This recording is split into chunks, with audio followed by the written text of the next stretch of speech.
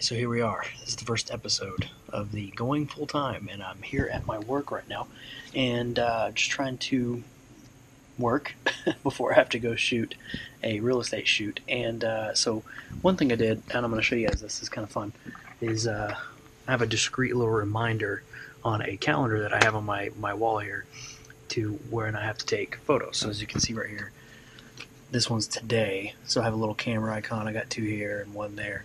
Uh, and those are the ones that I just have scheduled right now. So I thought that was fun to share, but I actually have to get back to doing some of this stuff. So.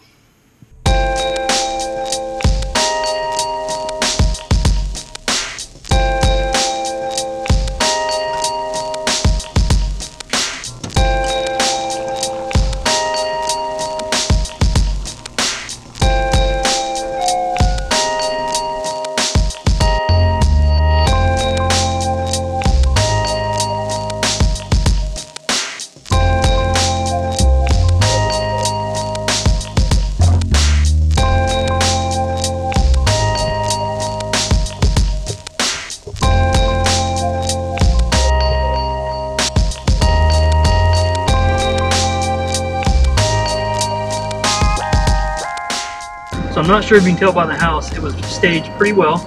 Uh, they had a guy come in and stage it, and it was, uh, it was, it was pretty nice. Uh, they actually cleaned all day, which is kind of a change from what I normally get, where you know they're kind of cleaning up to the point where I get there. There was still a lot to do, but I think I got some good photos, and uh, so I'm probably going to edit those tonight. And I usually try to deliver the photos that night. So when I shoot a photo shoot, I will edit them real quick that night and send them on over. These should be pretty easy because the, the rooms are staged, not a lot of stuff to, to touch up.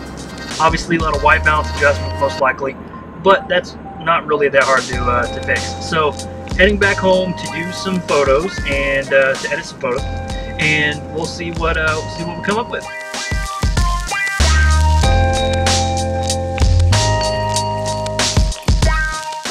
Alright, so I'm back home, I've done my editing, and I got my photos right there. You can see them, uh, I'm not going to do like a real close-up view of them, um, just for time's sake of the editing of the video. But uh, I got my photos done, I'm uploading them to Dropbox right now, and then I'm going to send them over to the realtor with an invoice, and that was one photo shoot done. I don't have anything planned for tomorrow for a photo shoot, but I do have another one, I have actually two, on Friday, and I'm going to be doing those, so um, that was a little bitty glimpse of what was going on today. Trying to get this going. Uh, the guy that I talked to, uh, the realtor, he was very, very nice and uh, very uh, willing to give me some more work as he is uh, he's a newer realtor, so he needs uh, needs good quality photos. So that's my whole point of being there.